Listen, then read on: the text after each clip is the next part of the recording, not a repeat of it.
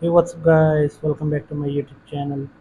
So guys in this video i'm going to show you how to install ios 17 beta 1 on your iphone.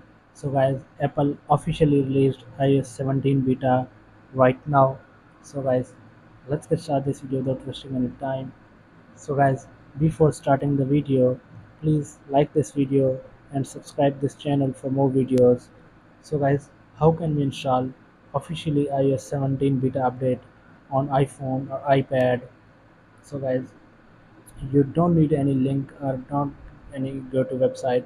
So, so guys if you want to install iOS 17 beta officially on your iPhone so simply first of all go to settings tap on general tap on software update.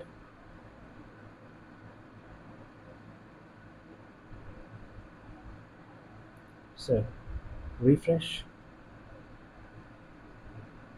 go back now. Tap on software bit. So guys check. So guys simply go back and refresh it again. So here is beta updates.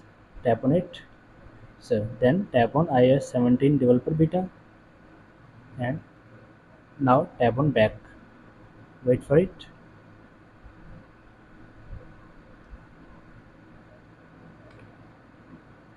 so here you can see guys iOS 17 developer beta is showing on my iPhone.